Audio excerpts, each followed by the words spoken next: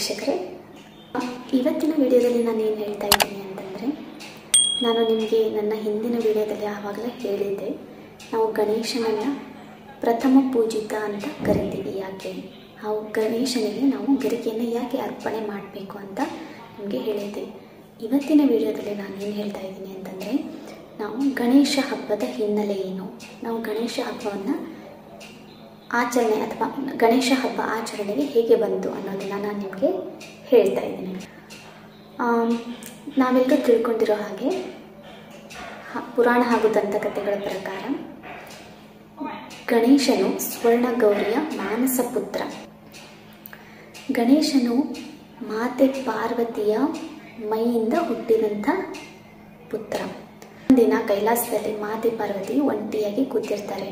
ಆವಾಗ ಅವರು ತಮ್ಮ ಮೈ ಕೊಳೆಯಿಂದ ಒಂದು ಪ್ರತಿಮೆಯನ್ನು ಮಾಡ್ತಾರೆ. ಆ ಪ್ರತಿಮೆಯನ್ನು ಮಾಡಿ ಅದಕ್ಕೆ ಒಂದು ಜೀವವನ್ನು ತುಂಬುತ್ತಾರೆ.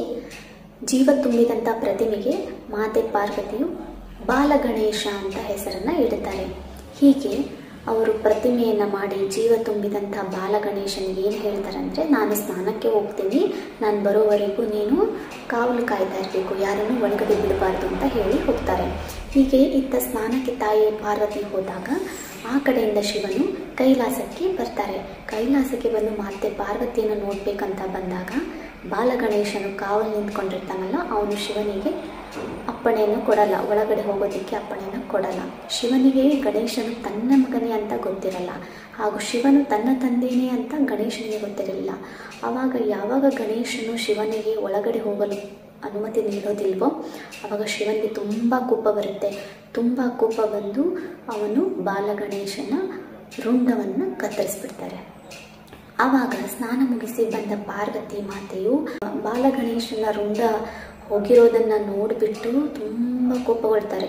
ಆಗ ತಮ್ಮ ರುದ್ರ ಅವತಾರವನ್ನು ತಾಳಿ, ನಾನು ಪ್ರಪಂಚದಲ್ಲೇ ನಾಶ ಮಾಡ್ತೀನಿ ಅಂತ ತಾಯಿಯು ತುಂಬ ಕೋಪಿತರಾಗ್ತಾರೆ ಆವಾಗ ತಾಯಿಯ ಈ ಕೋಪಿತವನ್ನು, ತಾಯಿಯ ಈ ರುದ್ರಾವತಾರವನ್ನು ನೋಡಿ ಶಿವನು ಏನು ಮಾಡ್ತಾರೆ ಅಂದರೆ, ಉತ್ತರ ದಿಕ್ಕಿನಲ್ಲಿ ಮಲಗಿರುವಂಥ ಒಂದು ಆನೆಯ, ಅಂದರೆ ಮರಿ ಆನೆಯ ತಲೆನ, ಅದರ ರುಂಡವನ್ನು ತಂದುಬಿಟ್ಟು ಗಣೇಶನಿಗೆ ಹಚ್ತಾರೆ. ಆವಾಗ ಗಣೇಶನಿಗೆ ದೇಹ ಮನುಷ್ಯರಾಗಿರುತ್ತೆ ಹಾಗೂ ಅವನ ರುಂಡನು ಹಾಗೂ ಗಣೇಶನ ರುಂಡವು ಆನೆಯದಾಗಿರುತ್ತೆ.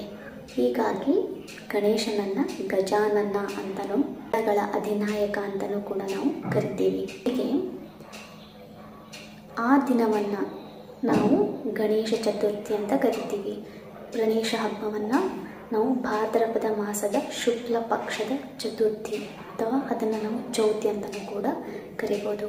ಹೀಗೆ ಗಣೇಶ ಹಬ್ಬ, ಅಂದರೆ ಗಣೇಶ ಚತುರ್ಥಿಯು ಗಣೇಶ ಚತುರ್ಥಿಯ ಹಿನ್ನೆಲೆ ಹಾಗೂ ಗಣೇಶ ಹಬ್ಬವನ್ನು ನಾವು ಮಾಡೋದಕ್ಕೆ ಇದು ಒಂದು ಪುರಾಣ ಕಥೆಗಳಲ್ಲಿ ಉಲ್ಲೇಖಿತವಾಗಿದೆ. ಹಾಗಿದ್ದರೆ ವೀಕ್ಷಕರೇ, ನಾನು ಗಣೇಶ ಹಬ್ಬವನ್ನು ಹೇಗೆ ಆಚರಣೆಗೆ ಬಂತು ಅಂತ ನಿಮಗೆಲ್ಲ ತಿಳಿಸ್ಕೊತಿದ್ದೀನಿ ನಿಮಗೆ ನನ್ನ ವಿಡಿಯೋ ಇಷ್ಟ ಆಗಿದೆ ಅನ್ಕೋತೀನಿ. ನಿಮ್ಮೆಲ್ಲರಿಗೂ ಮತ್ತೊಮ್ಮೆ ಗಣೇಶ ಹಬ್ಬದ ಹಾರ್ದಿಕ ಶುಭಾಶಯಗಳು.